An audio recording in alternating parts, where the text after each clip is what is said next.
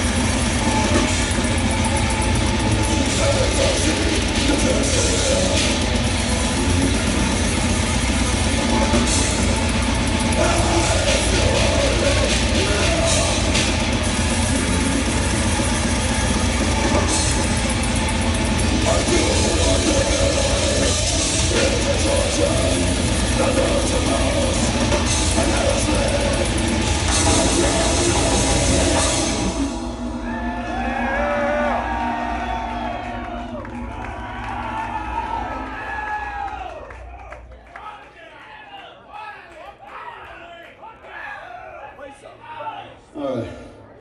This next song is near and dear to me. Goes out to anybody in this, I was going to say room. Anyone in this bat barbecue pit uh, who uh, has someone in their life who has a very difficult time taking responsibility for their own fucking actions.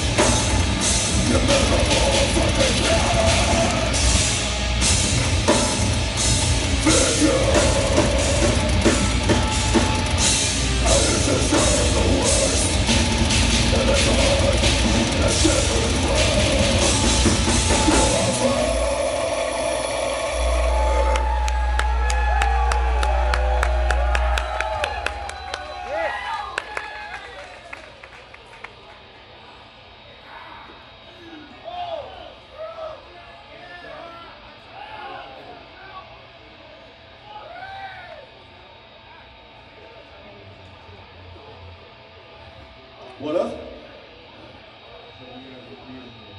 Oh, fantastic. Oh man, okay. I'm trying to think of something to say so I can breathe for a second and not look like a total pussy, but I'm just gonna deal with it. Oh, here we go. So this next song I'm gonna play is uh is that me or is that you? Oh, it was me. Hold on. All right. This next song is a is a ballad.